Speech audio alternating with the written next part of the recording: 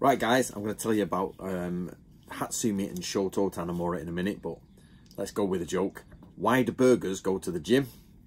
To get better buns. And because I've not done jokes in a while, how about this? Why do fish live in salt water? Because pepper would make them sneeze. love crab jokes. I absolutely love them. Right, who would you prefer to train with? Shoto Tanemura or Masaaki Hatsumi? Now, this is the third in a mini series of videos done. One was why I got kicked out, kicked out the Bujinkan. One was why I left the Genbukan. And then this one is who would you prefer to train with and who's the best instructor, who's the best fighter out of the two of them. I also also talked about another Ninja Scroll we got and possibly a rival to Takamatsu doing Ninpo Taijutsu or Ninja Martial Arts around the same time, the 1950s.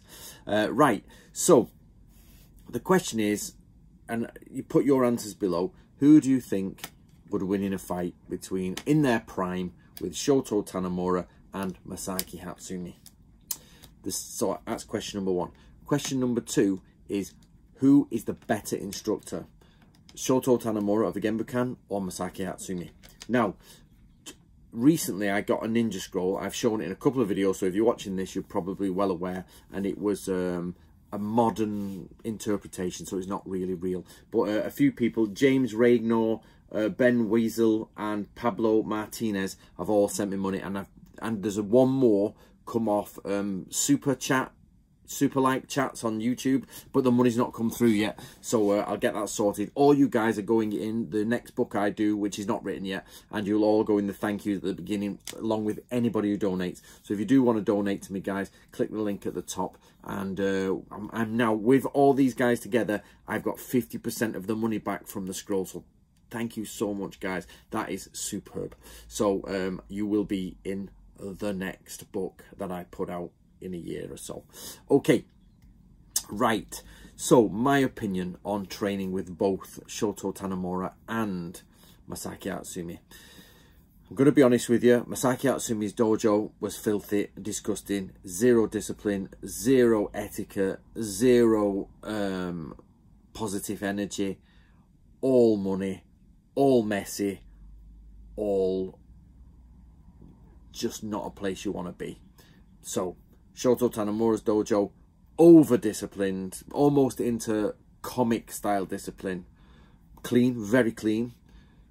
Had less of a feeling of somewhere of a sacred place. Hatsumi's had so one of the problems with Hatsumi, one, well, two problems with Hatsumi. One of them is a main problem, and I think they've changed their dojo since I started saying this. And one is he puts pictures of himself on the Kamidana, and you're like, oh no. So the Kamidana is the God shelf, and you can put ancestors up there. You can put you know, because it's the same as the Butsudan, it also goes in this area of the dojo where the ancestors go and the gods go. And Hatsumi has, has had pictures of himself as a god, which is just outrageous. Um, outrageous. The second one is I was told off by a monk for performing Kujikiri towards the altar. I didn't even get there. I went, and he went, no! He says, never perform it to the altar yet because you're banishing. Kujikiri is a banishing ritual and Masaaki Hatsumi always does his Kujikiri towards the altar. I don't know if Shoto Tanemura does. I can't remember, to be honest. I think he does as well, which is a very big faux pas in um, Buddhism, Japanese Buddhism. If anybody can find any more information on any reason why they would be doing it that way, let me know. So, however, Hatsumi, beyond Hatsumi having the pictures of himself on the Kamidana, it did genuinely feel like it had lineage, ancestry, and some sort of, you know, some sort of depth to it, whereas Shoto Tanemura's was too plastic, too plain. Too, while it was neat and that was good, it was very similar, I think, to Katori Shinto-ryu. They just have a very Pinewood dojo without anything. I've been in some awesome dojos. So you got two types of dojo, okay, guys? Forget your sports gym. You get two types of dojo. You get the dojo, which is polished, clean. There's nothing in it. Everybody's in a cupboard. People bring stuff out, and your train goes away. It's just a hall with an altar at the front. I don't really like that type of dojo. Then, but that's personal opinion. Then the other one is they've got lots of pictures on the wall. They've got the kanji written down. They've got me not memorabilia, but stuff from the school. They've got warrior weapons. Now you can do that either really messy or really cool. And I've been to some dojos where it was done really quite good. Actually, it was done really quite good. But so Masaaki Hatsumi and Shoto Tanemura their dojos are not really great to be in. They're not very good. Um, okay, teaching, uh, sorry, training. Shoto Tanemura is very much you start here, you will finish here. This is where you're going to be. I watched these black belts do it, and they they trained very much the same as the white belts. They've just been doing it longer, so we're better, which is a very good way of training martial arts. But it has no real scope for going beyond that. So Shoto Tanemura points for discipline, organisation, systematic training, etc. But no points for pushing it beyond the basic steps. You know, just basic martial arts. You do it. You you start on day one, and the last day you're doing pretty much the same thing beyond going up to the next kata. But you're not really pushing beyond that. I know a guy did comment and said they did have classes beyond which I'd gone to, and um, you know, it was a long time ago, and uh, so he does. He says, "I rem he remembers me." And as I said, I didn't go loads. I was just not impressed with it. It wasn't the best martial arts instructor. It wasn't the best martial arts being taught, and the instructor was a bit weird. Um, so, but you get what you go for. You know what I mean? I don't know if you do uh, Ronseal adverts out there in America, but it does what it says on the tin and you know that's it however unfortunately he was doing things that i thought were inappropriate for real fighting such as cartwheels and shuriken throwing from my pants and all that it was just a bit like fantasy ninja um, then uh, obviously Masaaki Hatsumi is totally the opposite. They, you can't have two more polar opposite people. He is now make up whatever you want, do whatever you want. It doesn't matter if it works, doesn't matter if it doesn't work, doesn't matter if it's the most atrocious idea in the world, doesn't matter if it's an amazing idea. You can stand in that dojo and get... So in Shoto Tanemura's, you get 10 people. Some are good, some are bad, some are okay. They all vaguely get to a similar sort of level with a smaller range. Hatsumi, you can have 10 people, and from crap to amazing, and they're all stay at the opposite range. Amazing people stay amazing, crap people stay crap. And they do some weird stuff in the middle. So I would say Shoto Tanemura is mm, points down for really not pushing his martial arts anywhere beyond just what he thinks he should do, and Hatsumi for just letting people do whatever they want anytime they want without actually doing anything of any value. And the difference here is that you can get value out of both. So Shoto Tanemura has some very strong be like, bang, you'd be like, oh, bloody hell, you know, you'd be like, lock, crick, and you're on. But, like, you have to follow a very formulaic pattern. Hatsumi, you can put them locked on, you can get it and everything, but there's just no, you know, um, what's the word I'm looking for? Let's just let's just say neither of them have gone in the right direction. They're just polar opposites of each other. Okay, next, who would win in a fight? Let's look at in them in their heyday. What do you think? Right, in their heyday, I would say Hatsumi has a far more realistic understanding of how combat works. Uh, bear with me. Because he was like, just before he went crazy, he was very much, that's good, you know, let's do that. But, you know, let's move that beyond. And if you watch him in these early stages, in his 50s, 40s, 50s, 60s, he's pretty good. He's like, and whoa, and we've got, and you beat, and locks on. You know, very much like a lot of people diss Aikido, and and they do, and I think I think Aikido gets a bad rap because people see it the wrong way they I am not a massive Aikido fan, but what I do think about Aikido is they teach you to move fast, they teach you to move in the moment and grip and you're away. And all you need in Aikido, people, it does my head in, people think you've got to do this throw and they all fall all over the place. All you need in Aikido is that. And, and you know, that reaction, and when they move back to do something, that's all you need. In a real fight, you're going to batter them and you're going to just, right, as hard as you can. But it's that reaction, bang, lock, done no messing about, no throwing about. So Daito Ryu and um, Aikijutsu get closer to that. And Hatsumi was vaguely going down that way with a bit more before he went off on a just crazy tangent. Whereas Shoto Tanemura is a strong physical character. He, I think, works for the police. He probably has been in quite a lot of fights. So, who would win in a fight? my gut feeling tells me it would be Shoto Tanemura, not because of his ability, but because he's probably a naturally harder fighter than Hatsumi, I think. Whereas Hatsumi is a more gifted man in understanding martial arts. Shoto Tanemura probably has a more sturdy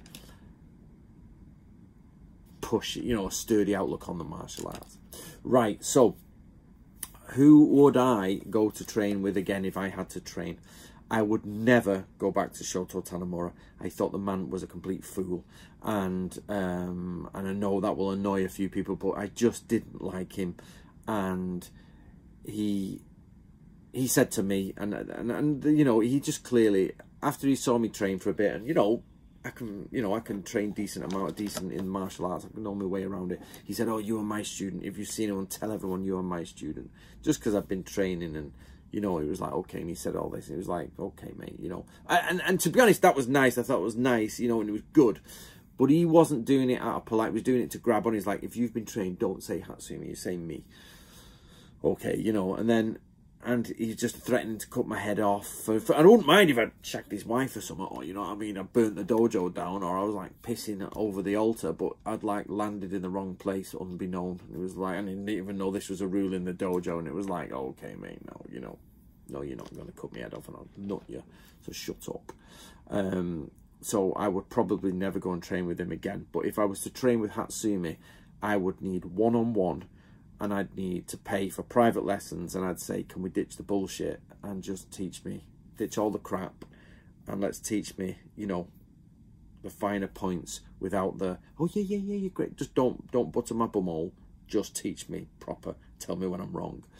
Or I would train my with one of Hatsumi's better students, Dennis Bartram, basically, uh, if I was to go anywhere down that route again. So there you go, guys. Shoto Tanemura versus Masaaki Hatsumi. But they're just my opinions of spending... Remember, I lived in Japan for a long time, and I spent more time with Hatsumi, but I spent enough time with Shoto Tanemura. It wasn't just a weekend seminar. I went multiple times, and I saw him over times. And I trained with other martial artists in Japan.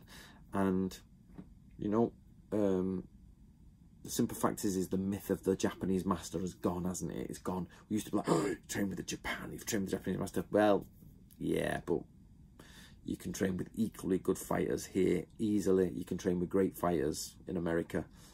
There's no real reason why you need to train with a Japanese person. What the Japanese person does is give you the amazing feeling of being in Japan, the dojo, an understanding of the language. So, for example, um, we all say like, you know, to to block things but half the time these blocks are called receiving motions. So so you don't you don't block something you sort of receive it and if you know you, you receive you're not blocking it you're receiving it and getting on and that that depth gives it more. But none of the japanese people that i've met have ever really been able to transmit that over to the english people and, and take them you just they just don't quite know how to teach um, I did once go around, bizarrely, I went in, do you know a band called One Giant Leap? I went around with the guy, I forget his name, tall, English, white, not the black gentleman, the white gentleman. And he was, um, because that's from Faithless, the band Faithless. Uh, I think he's, he died now? Has he got cancer? I think the, the black gentleman, but the white man, he met me on Tokyo Bridge. I just bumped into him. He's like, "Have you heard Faith?" I'm like, "No, mate. I'm into heavy metal." And he was like, "Insomnia, you know, I can't get no sleep." Bah, bah, bah, bah, bah. oh yeah, I know your tune, mate. So we went on a. He was just like, "Come on a day trip with me." So he took me on a day trip filming uh, when he did the second DVD of the One Giant Leap album, and uh, we went to a martial artist's house, and it was just in the middle of nowhere, very small, and he was good. But I asked to be a student, but he wouldn't accept me probably because I'm English, all Japanese, in a house doing it. And I was like, you're mustard, mate. You're really good. No. The other guy I saw was in, I don't know if anybody knows him, but basically in when Hatsumi does his Ayase dojo stuff on the Tuesday night, was it? Um, basically, there was a Kemp show, uh, Kempo school on the mats next to him, and there was a massive guy who was like one of the top students and he was just mustard. And I thought I won't fight you mate? So you know but there you go. Right. Sorry rambling on. Comments down below. And of course, sorry guys, if you want to help me out, if you really want to help this channel, you can uh, help donate to the channel or get yourself a copy of The Art of War, Real Warfare.